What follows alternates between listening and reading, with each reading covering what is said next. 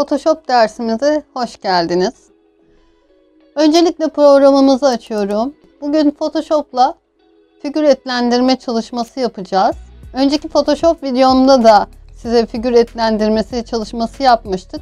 O zaman görüntü kalitesi pek iyi değildi. Tekrar çekmeye karar verdim. Burada daha iyi anlatmaya çalışacağım. Şimdi ilk olarak Open diyoruz.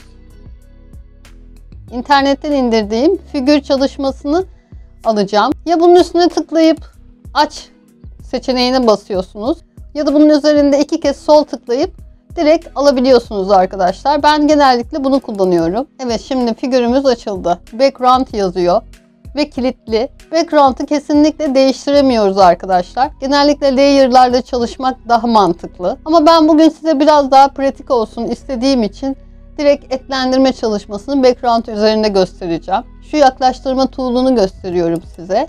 Yaklaştır, uzaklaştır seçenekleri var arkadaşlar. Mouse'un oynadığı yerde görüyorsunuz. Yaklaştırıyorum. Yaklaştırdım. Eskiz şeklinde bir kıyafet tasarlayacağım. Sadece etlendirmeyi göstereceğim bugün size. Ama şöyle özensiz bir çalışma yapacağım burada. Bunun sayesinde etlendirme çalışmam daha güzel görünecek. Evet şurada şimdi brushlarım var. Seçiyorum. Burada mod normal yazıyor arkadaşlar. Şimdilik böyle kalsın. Büyüklüğü de gayet iyi. Büyüklüğünü ayarlamak için burada brush ve 81 yazıyor. Buradan e, büyüklüğünü, küçüklüğünü ayarlayabiliyorsunuz. Burada renk skalası var. Renk skalasını da daha önceden anlatmıştım size. Ama yine tekrar anlatayım. Mouse'un sol tuşuna tıklayıp dolandırdığınızda burada birçok rengi görebiliyorsunuz. Yanındaki çubuktan da mouse'da sola tıklayıp böyle gezindiriyorsunuz ve istediğiniz renkleri görebiliyorsunuz arkadaşlar. Siyah burada zaten. Basıyorum ve boyuyorum şimdi. Boyadık. Bununla ilgili size bir şey göstermek istiyorum. CTRL ile T'yi aynı anda basarsak bu alanı seçiyor arkadaşlar. Gördüğünüz gibi. Alanı e, tamamen seçiyor ve ben bunun üstünde eğriler büğrüler her şeyi yapabilirim şimdi. Bakın şuradaki noktadan tutup mouse'umun sol tuşuna basılı tutarak bunu istediğim gibi oynatabiliyorum. Ve böyle istediğim gibi buna bir şekil verebilirim. Birazcık daha genişletebilirim. Gördüğünüz gibi her türlü tutup çekilebiliyor. Bununla her türlü şeyi yapabiliyorsunuz Photoshop'ta. Şurası biraz yamukluk var. Onu da bununla halledelim. Boşa tıkladığım için uyarı verdi bana. Şurayı da biraz yukarıya kaldırayım. Enter değil, buradaki klik tuşuna basıyorum. Bir bikini altı tasarlayacağım şimdi.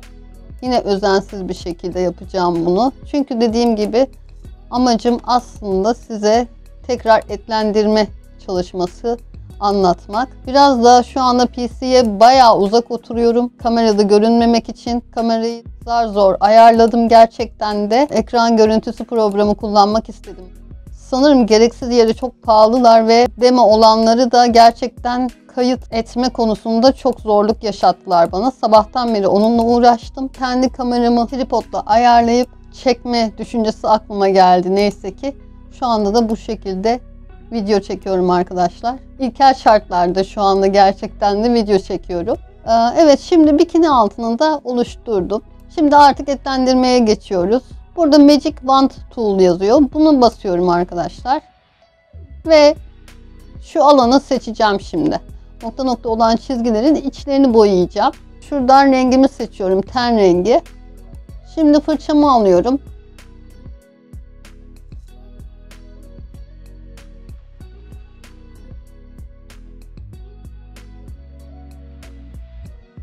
Böyle bir hata yaptığınızda arkadaşlar paniğe kapılmayın. CTRL Z yapıyorsunuz arkadaşlar ve anında geriye alıyor. Bakıyorum olmuyor. Çünkü burada bir hata yapmışım. Buradaki tool'umdan Polygonal Lasso tool'u seçiyorum. Burada bir açıklık var demek ki buraya taştığına göre. Böyle iyi sanırım. Şimdi delete tuşuna basıyorum. Bacağı da ayrılmış oldu. O bacağını da şuradan birleştiriyorum. Çünkü diğer türlü yine aynı hatayı verecek. Kolda da şu anda bir form bozukluğu meydana geldi. O kadar da önemli değil. Burada Magic Mantolumuzu seçiyoruz. Yine siyahta kalmış şurada ten rengimi seçiyorum. Fırçamı aldım. Bacağını seçiyorum. Sadece şu alanı seçmemiş arkadaşlar. Çünkü orası içeride kaldığı için. Bacağı boyayalım komple.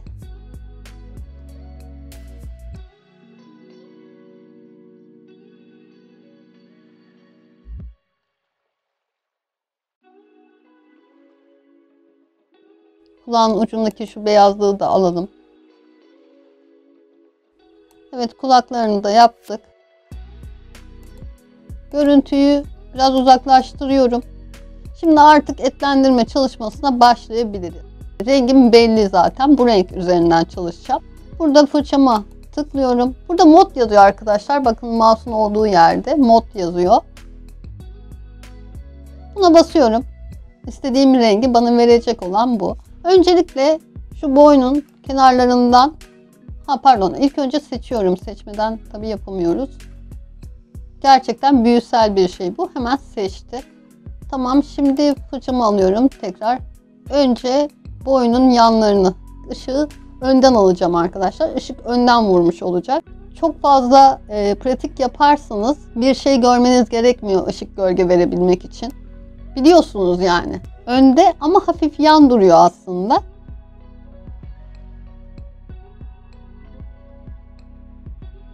Diğer videoda ayrıntıya hiç girmemiştim.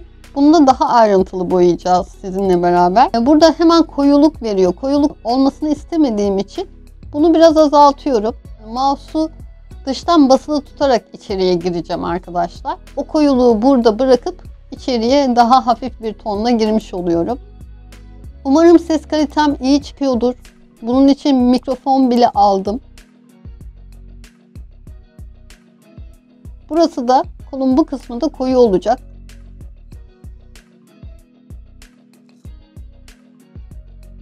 Şimdi bu kısmı yapıyorum. Bu koldaki şuradaki bu bozukluk deforme oluş hiç hoşuma gitmiyor şu anda ama onu düzeltmekle gerçekten uğraşamayacağım. Şimdi burada dekoltesi var arkadaşlar gördüğünüz gibi. Kısalım. Bayağı bir kısalım hatta.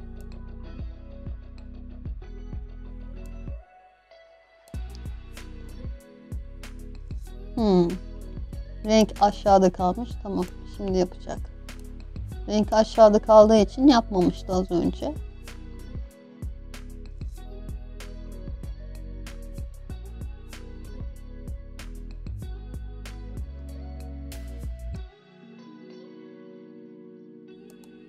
Gerçi uzaklaştırınca o görünmez ama olsun.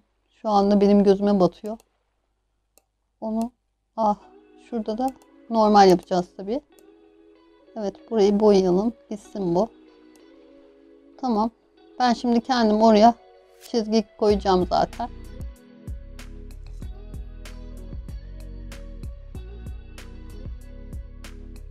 Göbek kısmına geldik.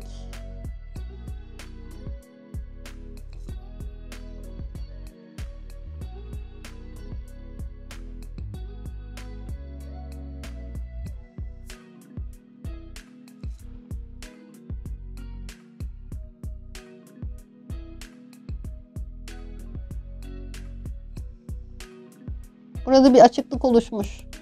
Daha önceden kalma. Şimdi seçim tuğlumuzla bacağını seçiyorum. Artık bacaklarını boyamam gerekiyor. Biraz uzaklaştıracağım bunu. Bu kısımlar arkadaşlar her zaman koyu olur çünkü her zaman gölgede kalır. Au. Hep bir felaket nedense. Tabii şaka yapıyorum felaket değil de. Brush'ımı alıyorum. Gölgemi vermeye başlıyorum. Dediğim gibi iç taraflar her zaman için daha koyu olur arkadaşlar. Burasında da bir koyuluk olması gerekiyor. Elin olduğu kısımda da koyuluk olur. Çünkü elin de orada gölgesi vardır. Alt kısımları daha koyu olur arkadaşlar. Çünkü arkada kalıyor. Arkada kaldığı için de koyudur. Bunu yapmak gerçekten çok zevkli. İlerleyen videolarda size kumaşları falan da göstereceğim.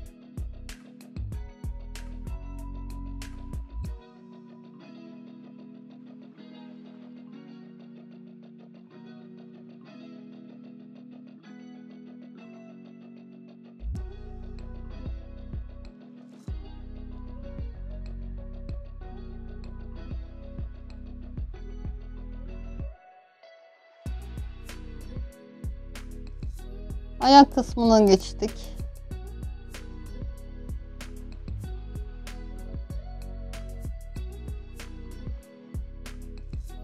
Diğer bacağını seçiyorum. Brush'ımı alıyorum. Yine burası da koyu olacak arkadaşlar. En azından dipleri olabildiğince koyu olacak buradaki gibi. Geçişini her zaman için yumuşak yapmaya çalışın.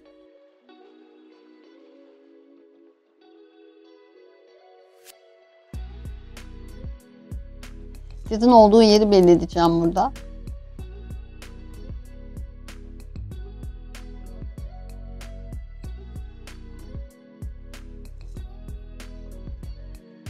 Evet bu bacağı da bitirdik.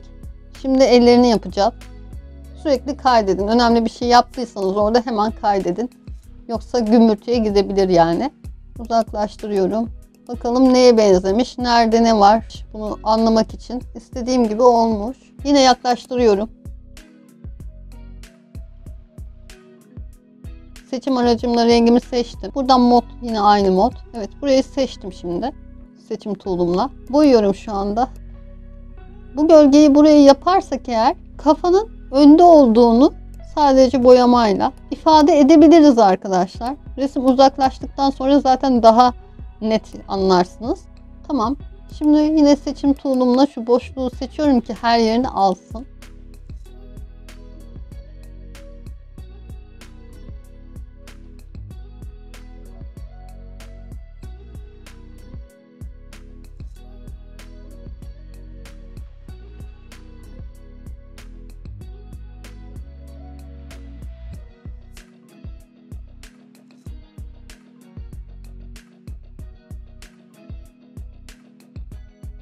Tam bir yuvarlaklık yakalamak istiyorum.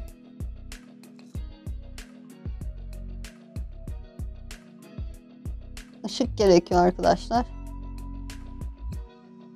Şurada da olması gerekiyor.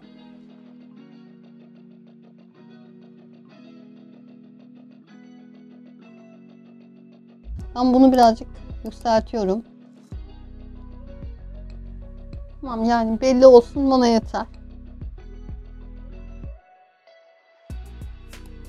İç tarafları yine koyu kolda. Kalça daha önde gölge vereceğiz oraya ki kalçanın önde olduğunu da anlayabilsin insanlar.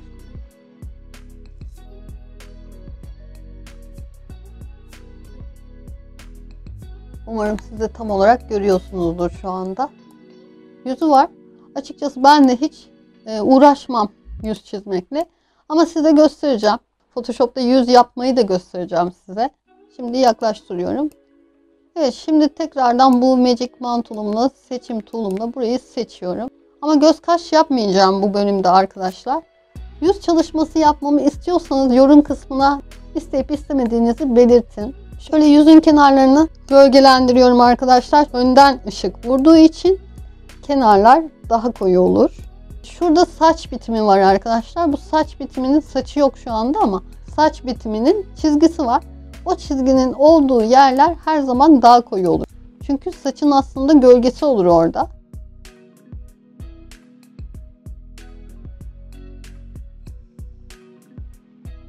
Şunu birazcık açacağım ben. Hata yapma şansım azalsın istiyorum. Yani açıkçası çok özenmiyorum şu anda yüze. Beni tatmin etsin yeter. Seçimi kaldırıyorum şu anda. Kafası gerçekten de bu figüre göre çok küçük. Bakın şu anda uzaklaştırıyorum. Siz de daha iyi anlayacaksınız. Kafasını biraz büyüteceğim arkadaşlar. Nasıl büyüteceğim onu göstereceğim. Hem bu sayede kafasını ya da herhangi bir bölümünü büyütmek isterseniz nasıl yapacağınızı görürsünüz. Başka videolar da izleyin. Başka Photoshop videoları da var YouTube'da. Onları da izleyin arkadaşlar.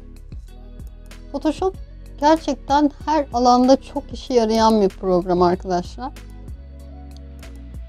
Satın alabiliyorsanız satın alın. Alamıyorsanız demosunu indirin en azından. Eğer bu mesleği yapmak istiyorsanız ya da bu mesleği yapıyorsanız mutlaka ama mutlaka alın yani satın alın arkadaşlar. Klavyemde CTRL'ye ve T'ye aynı anda bastım. Bastığım zaman zaten bunu az önce bikinisinde de yapmıştım ama Tekrar söylüyorum. Bunu seçiyorum. Tekrardan Ctrl T'ye basıyorum. Bu çıkıyor. Şimdi ben bunu şu kenardan büyütmeye başlıyorum. Büyüdü. Şuradaki klik tuşuna basıyorum. Buradan seçimi kaldırıyorum. Şimdi küçültüyorum. Bana göre şu anda kafası daha mantıklı yani daha orantılı oldu arkadaşlar. Evet etlendirme çalışmamız bitti arkadaşlar. Bitirdiğime göre artık bunu kaydedebilirim. Save diyorum. Hatta bunu şöyle diyorum. Save dediğim için sadece Photoshop olarak kaydediyor. Save as diyorum. Burada JPEG yazıyor arkadaşlar. JPEG olarak bunu ben burada kitaplığıma kaydedeceğim resimlerime. Burada çıkan bu şeylerin hepsine ok diyorsunuz arkadaşlar. Kaydetti. Tamam şimdi bakalım. Çok güzel bir görüntü kalitesi var. Evet böylece Photoshop'ta etlendirme çalışmamızın sonuna geldik.